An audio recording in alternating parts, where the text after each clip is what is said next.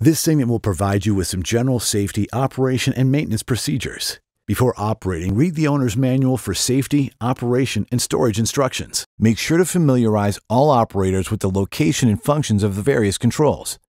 The engine is shipped without oil or gasoline. Service the engine with oil and fuel as instructed on page 18 of the manual.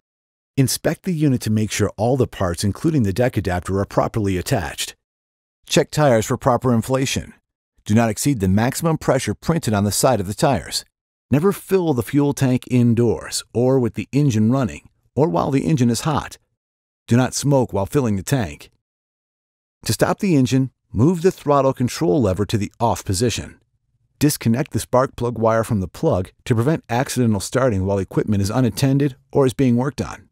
The muffler and adjacent areas are hot. Use caution. Never start or run the engine without all the covers being properly attached to the blower housing and cart. To start your mow and vac, first check engine oil and gas. Then attach the spark plug wire. Now move the choke lever to the choke position. Next, move the throttle control lever to the fast position. Now, Grasp the starter handle and pull the rope out slowly until the engine reaches the compression cycle. The rope will have more tension at this point. Now, let the rope rewind slowly while keeping a firm grip on the handle.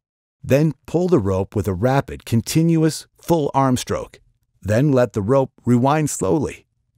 Do not let the starter handle snap back against the starter. Repeat these instructions until the engine fires. When the engine starts, move the choke control gradually to the run position. Vehicle braking and stability may be affected with the addition of the accessory or an attachment. Beware of changing conditions on slopes.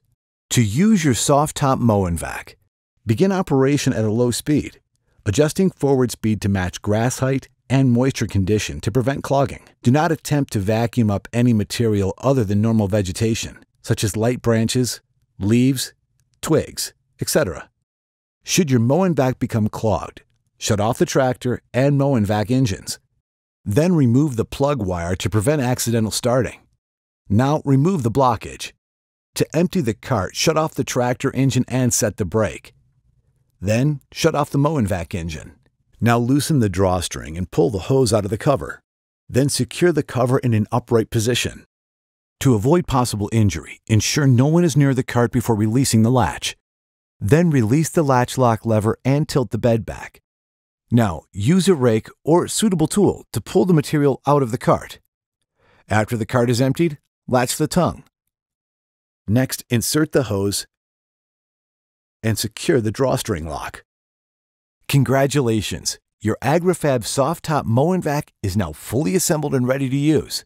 For additional help or replacement parts, please call AgriFab at 1 800 448 9282 from 7 a.m. to 5 p.m. Monday through Friday or visit www.speedepart.com to purchase replacement parts.